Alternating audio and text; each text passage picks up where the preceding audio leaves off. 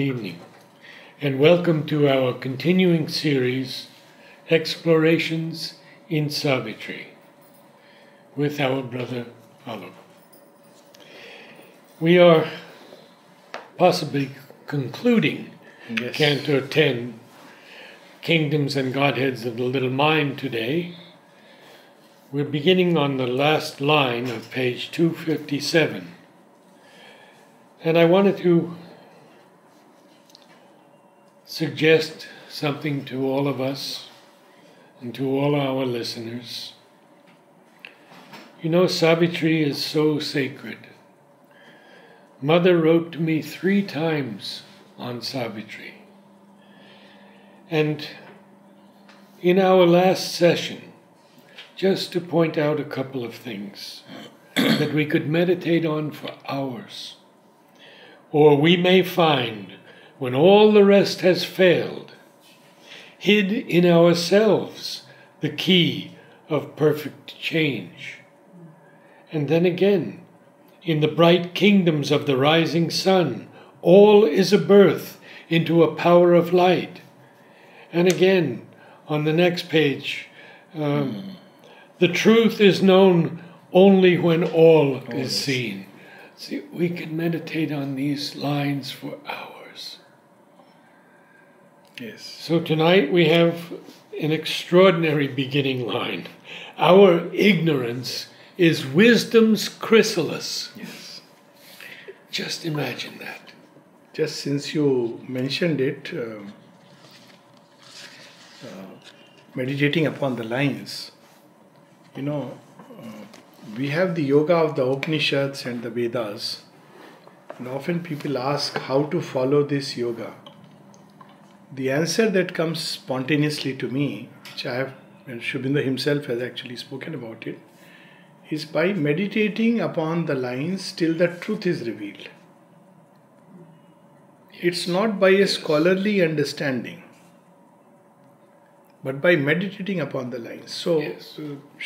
famous experience of Alipur jail, Vasudevam Sarvamiti Samahatma cha Durlabha, he actually used to, he describes it, walking from the cowshed to the jail, where people were making things.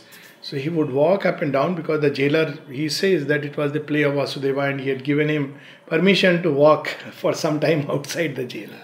And he would walk, and these two um, slokas from the Isha Upanishad, Yes means Sarvani Bhutani, that one, and the other one, Tatra ko moha ka shokai ka tamanupashata. He would recite it within himself and walk up and down.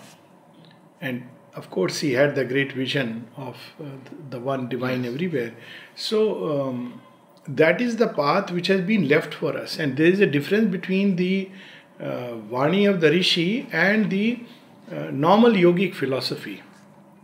Sri Aurobindo, I read today a very beautiful passage in Bengali writing. He says the Rishi is not a saint or a holy man. He is somebody who has the mantra, who has ascended to the higher planes of consciousness. And therefore, at whatever level, he has the mantra. His speech, his, uh, his writing, it's, it's mantric. It carries that ring of the higher truth. And even when he is not aware, eternity speaks through him. And he tells it in reference to the Bande Matram, you know, where he says that Bankim Chandra had the mantra. So he was a rishi. That's why he uses the word rishi Bankim Chandra. Because he had that mantra, somewhere the higher planes were using him as an instrument. He, he also speaks in, um, in the section on knowledge that he has heard people who were basically ignorant Yes. speaking with a higher knowledge Yes. that it was impossible for most people. And the mother gives a concrete example of this what can happen by the divine touch with reference to a girl who could speak marvelous things when she was in that state. But once she was out of that state, she was just like anyone else. Of course, in this yoga, because it's a yoga of transformation, that state has to be continuous and conterminous with life. And uh, we are so privileged that Sri Aurobindo is a rishi and a yogi. It's a very rare combination. Not all yogis are rishis, and not all rishis are yogis. This is And Mother speaks also about how much Sri Aurobindo walked yes doing his yes, sadhana. Yes, And so in the jail also he walked. And, was his method. Yes. And we know the story of the room overlooking the great tree, yes. in which his footprints wore into the wooden floor. Yes. He walked so much. Uh, you know, in Bodh Gaya, where Buddha had done his yoga, you actually have the footprints of Buddha walking along a certain path. But there's a difference, they preserved it, Yeah. and we just covered it. We put linoleum down. of course, at least we could have literally walked. So we'll continue further. It's a very beautiful line. We can continue with one line just above that. Hmm. One day the face must burn out through the mask. So this uh, mind is a mask, but what stands behind it is supermind. And look at this line, as you said, this one line is so powerful, it gives hope. It will. He is giving us an assurance that is bound to. And that's why Sri Aurobindo said supermind is inevitable in the very logic of things. Even if nothing was to happen, still it would manifest. The only difference is that by yoga we can make it happen in a thousand years what would take millions of years. Our ignorance is wisdom's chrysalis. So, chrysalis is normally a word used for this, you know, like the pupa of a butterfly. So, it's something an external coat. And uh, it, it covers and it constricts. So, chrysalis does two things. One, it secretly is nurturing the butterfly, but the caterpillar is thinking that it is constricting it. And the mother speaks of this, you know, when she speaks about if only man could consent to be spiritualized Yeah. that he is feeling a pressure from all directions and it is also because a secret yoga is going on. Unfortunately, he is still falling back on the old solutions, which includes the lawyer, the doctor, the policeman, and the politician. Whereas hid deep in us the key of perfect change. It's a chrysalis, but what is holding inside within and preparing it to emerge, that is the truth. Our error weds new knowledge on its way. This is how the journey goes. Another place Sri Aurobindo writes in Savitri, our error, our, our errors are his steps upon the His way. footsteps. Footsteps upon the way. Yes. So we should not be afraid or worried. At one place, Mother speaks of this, you know. She says, because of the um, fear of error, we stop doing any action because we may fall, we may make mistakes. But this is how the journey, as we proceed through the tangled anarchy of life, through works where we do not know, we are in ignorance, slowly knowledge dawns. So the process is being described that as we proceed, knowledge comes and we grow in consciousness. It's not like today I am ignorant, tomorrow I am all knowing. It doesn't work like that. Because it's like a blinding light. So our error weds new knowledge on its way. Its darkness is a blackened knot of light. Thought dances hand in hand with nescience What a line. on the grey road that winds towards the sun. What more, you know? Assurance. A grey road, though. Yes. And thought, which is actually the birth of thought, is from the highest realms. And yet it is dancing with nescience on the way. Look at the, it's not just, you know, it's dancing, it's happy. It's happy to be with nescience. It doesn't, and it calls it knowledge. And yet in this dance, there is something else which is guiding its steps. Through the grey road, it's moving towards the sun. It's so picturesque. Someone could possibly, you know, make a painting out of it.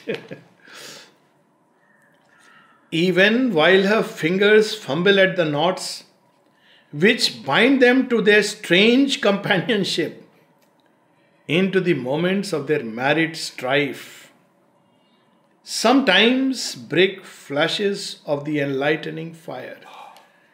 So they are married and they are quarreling like most people and they are trying to open the knot. It's a whole image. It is. It's a- and they are not able to open it yet in the course of the journey, time to time, there are flashes which are coming, and they are the ones which are burning the knot.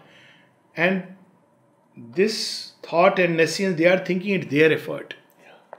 It's trying, but flashes are coming and the enlightening fire. enlightening fire.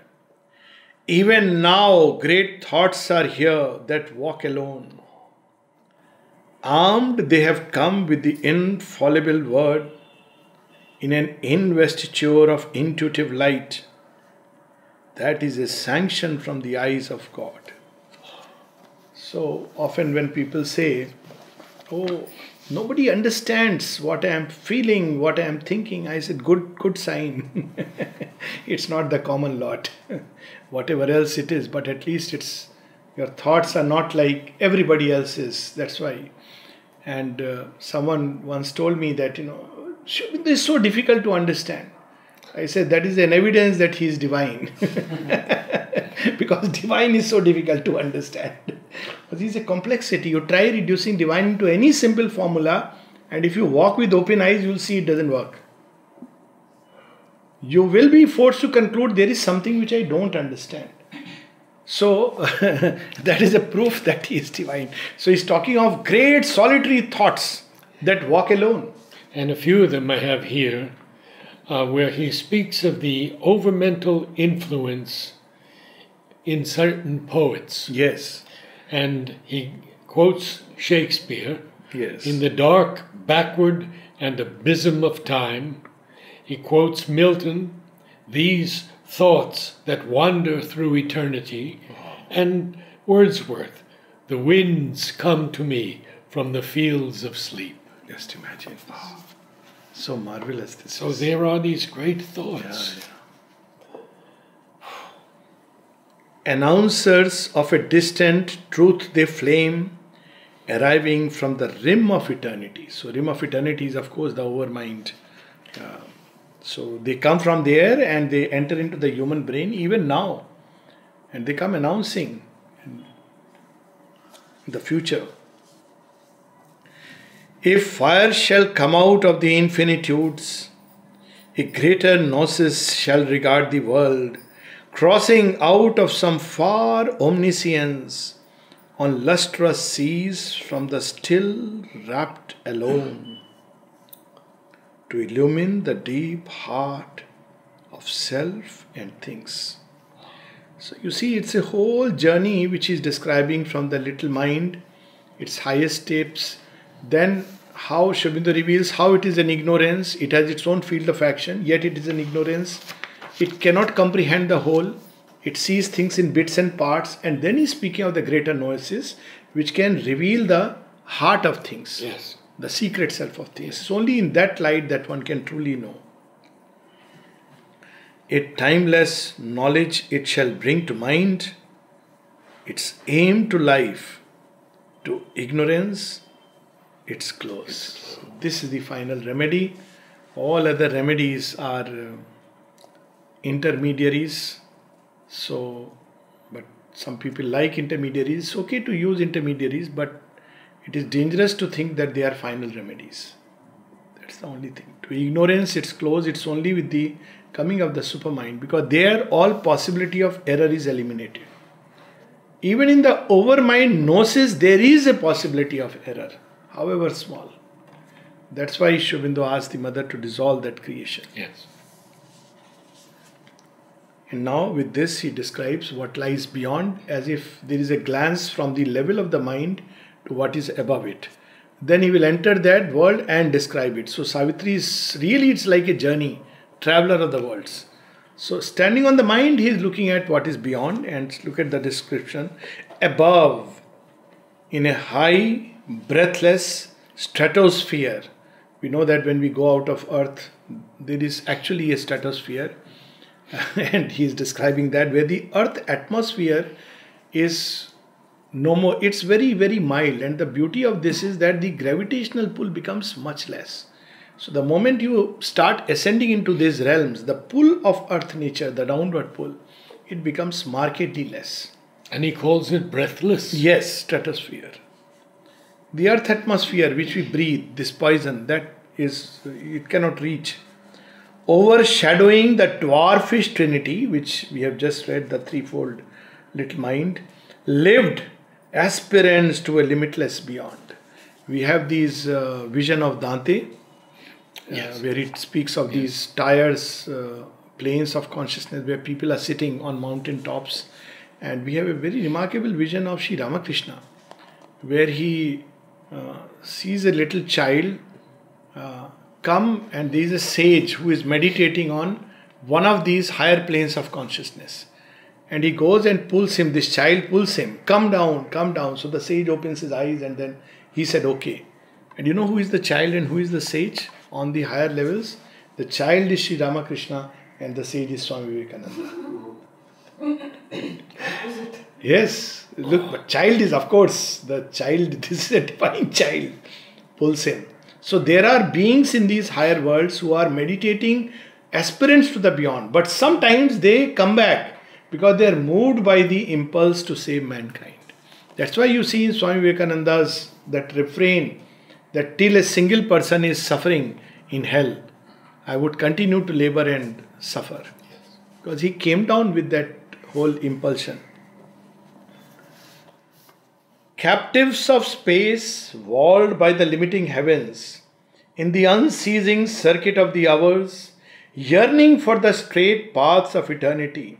So, still there is space and time in these higher realms, but a totally changed sense of space and time. Eternal is much later, and they are looking for the straight path. And from their high station, look down on this world to sun gaze, demons witnessing all that is. That's very powerful. Very powerful. So these demons, de- this is not demon, of course. I'm, I'm sure we, the demon is supernatural beings, celestial beings. It's used D A E. It's I think it's a Greek D-A-E word rather yeah. than D-E-M. Yeah, so they are watching from above this earthly race. You know that vision of Ishadi where she sees Sri Aurobindo uh, going in a chariot along with Dilip Kumar Roy and uh, I think was it Nirodha and one more person. Uh, so Pavitrada, and she asks that. What is it that I saw? He said, Yes, they are with me. Time to time, they go out to see the condition of the world. So she says, even my mama, she couldn't believe it. Because Dilip Kumar Roy had these issues and he had left and gone. He said, Yes, he is with me. It doesn't matter.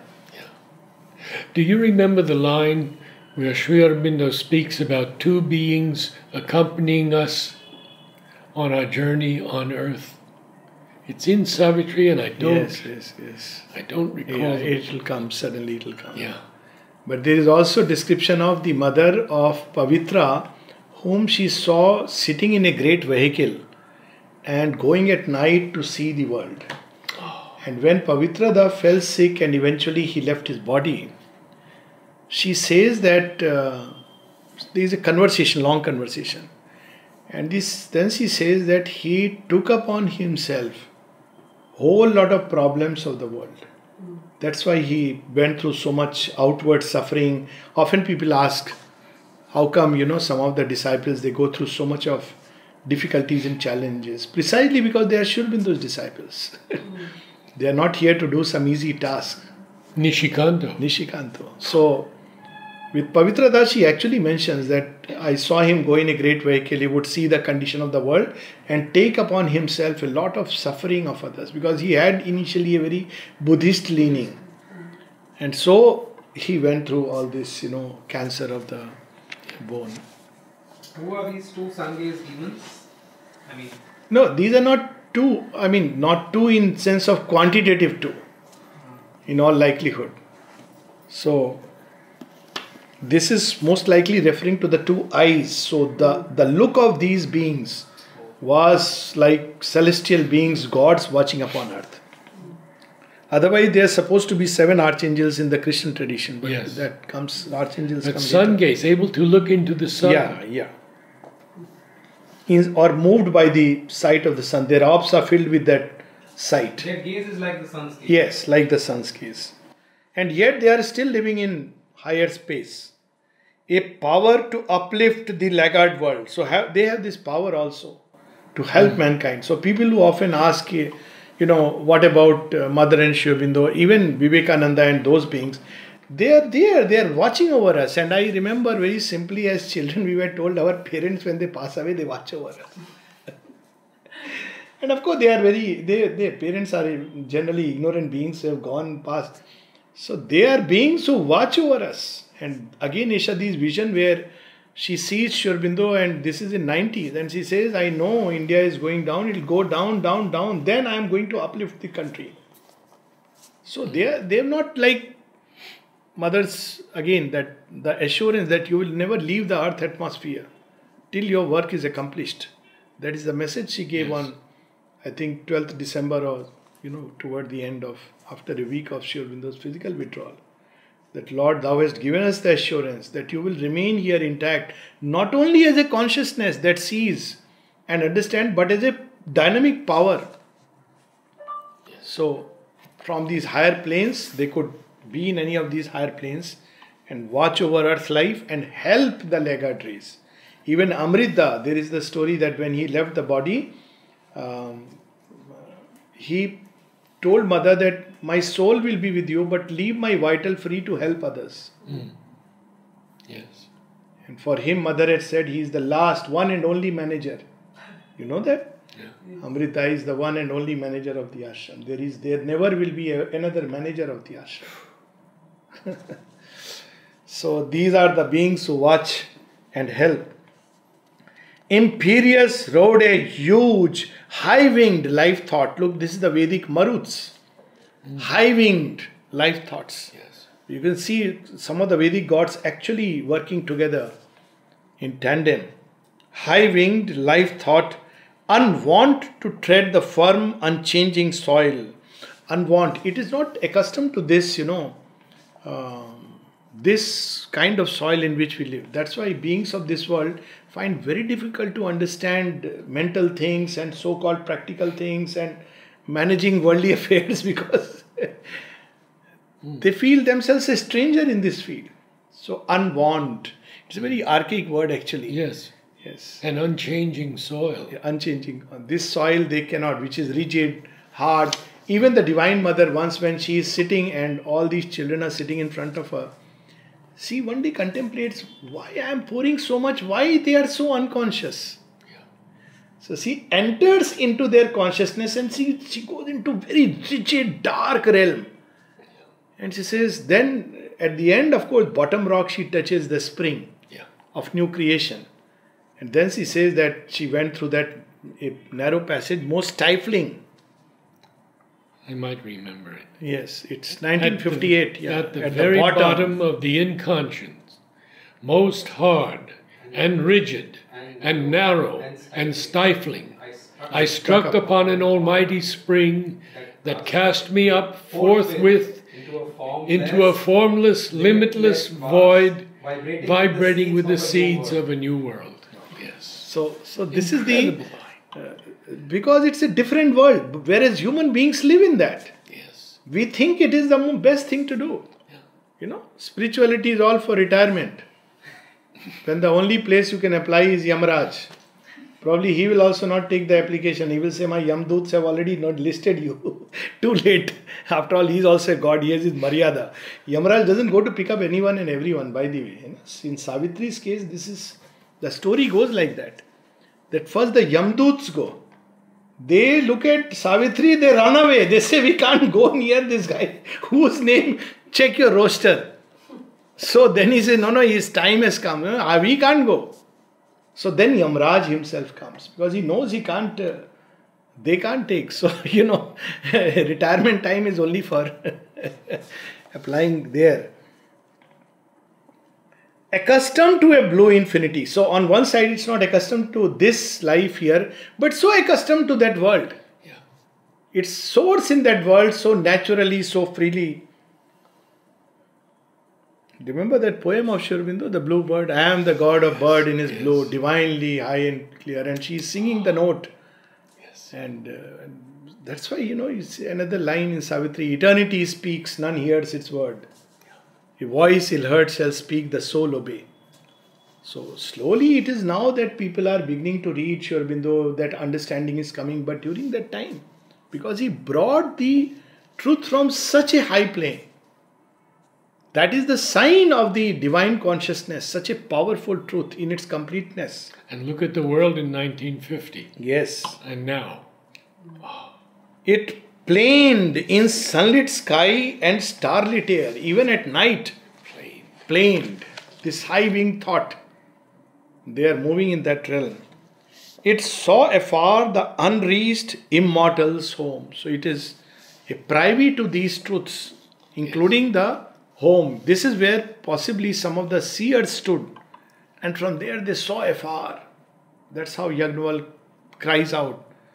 ಹಿರಣ್ಮಯಿನ ಪಾತ್ರೇಣ ಸತ್ಯಸ್ಯಾಭಿಹಿತ ಮುಖಂ ತತ್ವಂ ಭೂಷಣ್ಯ ಪಾವ್ರನು ಸತ್ಯ ಧರ್ಮ ಇದಿಷ್ಟ I want to know the law of truth because you could see from afar that there is a truth there but it's covered with a golden But in this kingdom of and Godheads of the little mind, they are looking up. Yes. Now, now because he's now, concluding it that from the highest reaches you can see it.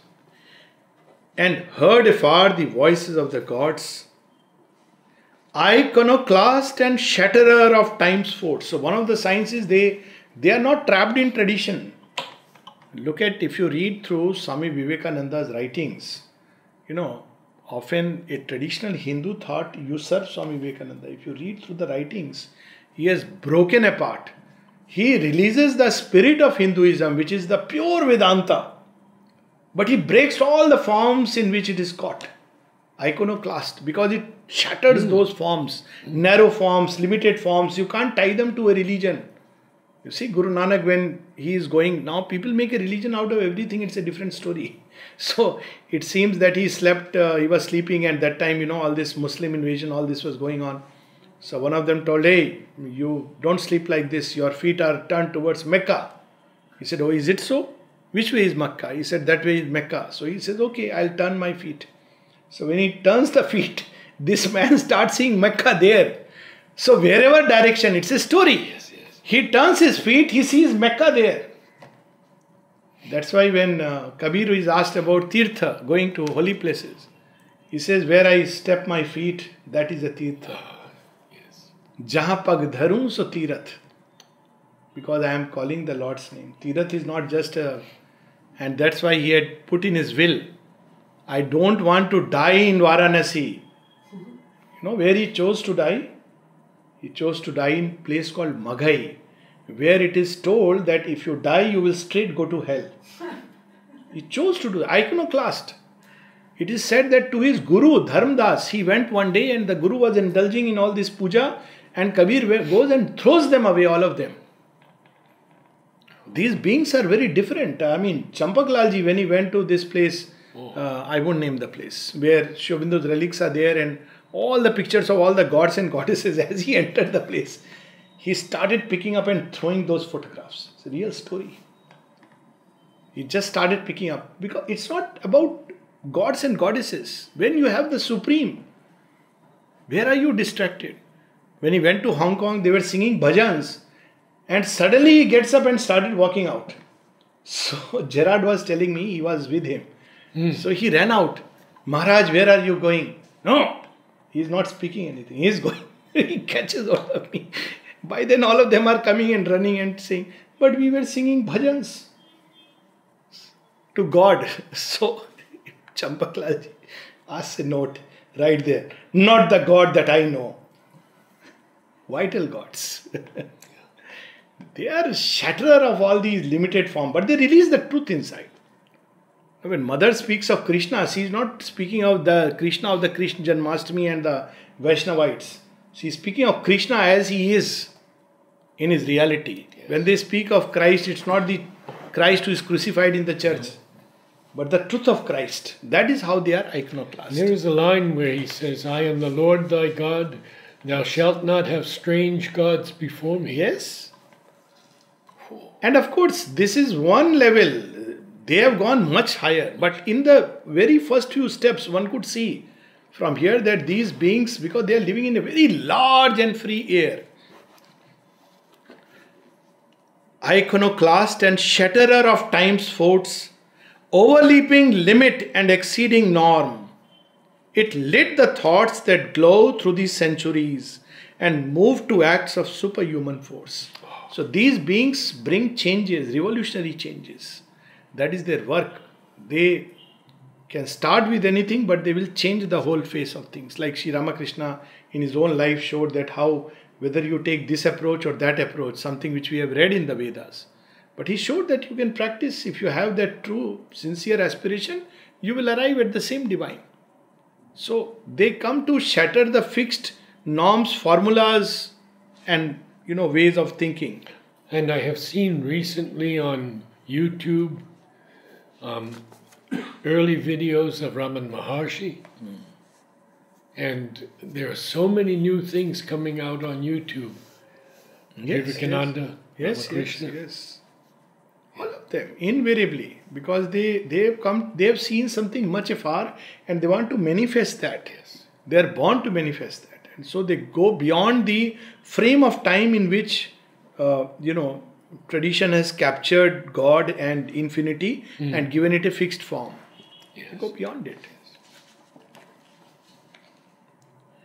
As far as its self winged airplanes could fly, visiting the future in great brilliant raids, it reconnoitered vistas of dream fate. Again, I am reminded of two, two little poems. One of Sri Aurobindo, which is a, a poem in Bengali but translated uh, in English, where he speaks of the Buddhist and the Vaishnavites. And he says, You think you know Krishna and you know Buddha. And then he speaks of Buddha. He says, Buddha is strong and mighty, tramples over desire. And you are just sitting with a shaven head. You know, even Kabir spoke like that. Kesh, kesh badhaye jogi ban gele bakra. he spoke like that. you you think by increasing your hairs you have you can realize the divine. the divine is not measured by the size of your beard. Then in another place he says um, to Muslims also, काकर पातर जोड़ के मस्जिद लई बनाए ता चढ़ी मुल्ला बाँध दे क्या बहरा हुआ imagine those days he is saying you have built a place to call God by assembling this bricks and mortar, Kakar Patar Road majid And from there, like a cock in the morning, you are shouting. you think that God is deaf? I mean, and Sri Aurobindo is called Guru Nanak and Kabir as great saints. Look at the iconoclasts they were, you know. Yeah. And another one which I remember is Subramanyam Bharti's poem Kannan. My Disciple. Please read it. It's amazing poem. It's about that, you know, he has all these ideas about morality, right, wrong, good, bad. And one day, one uh, child is brought to him that is a very difficult ti- child, very mischievous. Can you teach him? So he says, okay. So he starts teaching him, but this child starts questioning, starts. Now he is Krishna, Kannan, you know, and Krishna has come to him to help him break his ideas about life. It's a long poem, so sweet, so lovely, and he tries all methods, ultimately gives up and says, You go, I can't. and when he is in a, that state of helplessness, says, I give up. Then Kannan comes and says, Okay, now give me my homework, I'm going to do it. So he says, What happened? He says, Because I had come to change you, I had come to shatter all these things inside you. Now my task is done, I'll behave like a good boy. it's an amazing poem, very, very sweet and beautiful. Subramaniam Bharati, of course, its uh, original is Tamil, but the English translation is available. Kannan, my uh, disciple or student. It is there on Aroma. I had read this poem in Hall of Harmony, those long back. As far as its self winged airplanes could fly. Why? Look at it. Sri Aurobindo is putting air dash planes because he's not talking of these airplanes. Hyphenated, ah, self winged, yeah. and hyphenated Yes. airplanes. So, I mean, there's so many suggestions in each word. Self winged, not something which is grafted from outside and made to prop up. Visiting the future in great, brilliant raids, it reconnoitered vistas of dream fate. Look at it, you know, uh, great brilliant raids as if you know you are going unannounced and dream fate. It is reconnoitering. It is going and looking at it uh, like like a great bird. Apt to conceive unable to attain. So this is where now a gap comes in these realms mm-hmm. also. They can see they can understand they can know but they do not have the power to change. That was one of the problem with vedantic thought. It can take you to great heights but the power to change this world is a different line altogether. That will come later on.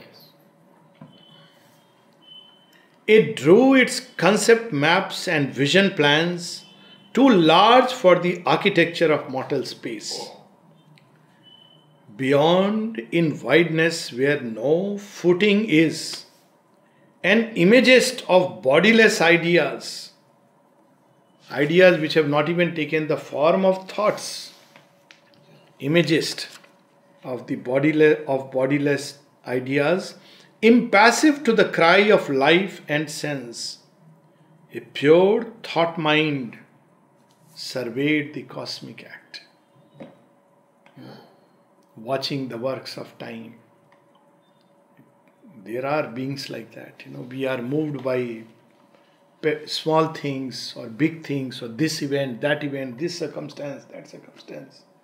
It's a pure thought mind which is just watching all the events pass by. What does mother say? When you become, when you can become aware of conscious the whole of world, the whole world at the same, same time, time, then you can become conscious of the divine. Watching this whole play, archangel of a white transcending realm. So now comes this archangel Archangels, I think, are those which arch over the angels, the greater angels, not the, the lesser ones, the greater angels.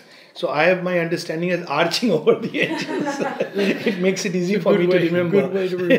this, this is not how it is described, but I remember when I read it, this is how I had understood. warriors. Yeah, they are warriors. Yes, they are warriors. That's right.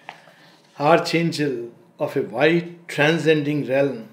It saw the world from solitary heights luminous in a remote and empty air. With this, we end Canto 10. It's a beautiful way to start the new year. We enter into Canto 11, the kingdoms and godheads of the greater mind. So, nice close to 2018. We leave behind the little mind. we enter the greater mind with the coming year because, anyways, it's the year of the Superman. Any questions? Any questions we can yes. I have a question. Yes. Why did you say next year is the year of the Superman? Oh yes. Um, it's a good question. I had deliberately not said the full thing. I thought I'll keep it for the next week. but no, no, it's okay. yeah, it would probably many persons see. The many people uh, have stopped with 1956. So you see the celebration 29th February and so on and so forth. But mother didn't stop with 1956. she went forward. There was a great event on 13th, 14th April night in 1962. 12 13. Uh, 12 13. She describes that, which is an amazing event, which is, you know, has far reaching repercussions. That's when she says it is done. Yes. The victory has been won. Then another great event was even in 1958 when material nature chooses to collaborate. But in 1969, 1st January, she speaks of the descent of the Superman. And initially, she says that it's a new consciousness which has come and she's trying to identify whether it's the supramental being. But on 4th January or so, she confirms it is the Superman consciousness which is the intermediary between the human consciousness and the supramental being. So, Superman will find the way. You know, it takes away the entire this question about who will be the guru. The Superman consciousness is there as a mentor. The word used is benevolent mentor and guide, and it will do it what is necessary to those who have turned towards Mother and Sri Aurobindo. It will lead them to discover the ways even for the physical transformation. This is what Sri Aurobindo says. Mother called so, him the Surhomme. Yeah, the Surhomme, that's the French word. And of course, there are debates on whether to call it Overman or Superman, but I, because Superman word has been consistently used by Sri and I, and this is the intermediary consciousness between the human consciousness and the supramental. And we see here as we go into the greater mind that actually many of the attributes of the Superman we'll find it here. Yes. So 1st January 1969, so this is the golden jubilee. And I think everybody forgot in the 75th year of the school that there is a golden jubilee of such a great event. Mm. They asked Nolini um, about ah, the Superman, Superman, yes. and he said, "It may be you, it may even be me." yeah, and he said he's just round the corner because Superman is already manifested, and he is working. And if we read through, in fact, uh, All India Magazine January issue is on Superman for those who want to, you know, get all the details precisely because it's the 50th year. I had advance notice. Okay. yes, you had an advance notice from Nolini. Superman was the first book, uh, I mean, of course, synthesis I bought, but the first book I received uh, from someone, and very strangely, it's a very beautiful little story that someone said, uh, I'll give you some book from Sri uh, this thing, pulled out a book and gave to me. So I opened it and the Superman. But guess what? It's signed by Sri with blessings. Oh. I said, "Are you?" sh-" I first I hesitated. Should I tell him that it's signed? I, said, "No, I can't." Just so I told him because I know how precious. So he looked at it. He didn't know that it is signed by Sri Aurobindo. And then he said, um, "Well, now it has come to you, so it, it I guess it has to go to you." The first book signed by Sri that I received, Superman, with blessings. So you see how the Lord can work and reach out anywhere, wherever you are. Yes. Okay. Happy New Year, everyone. Happy New Year.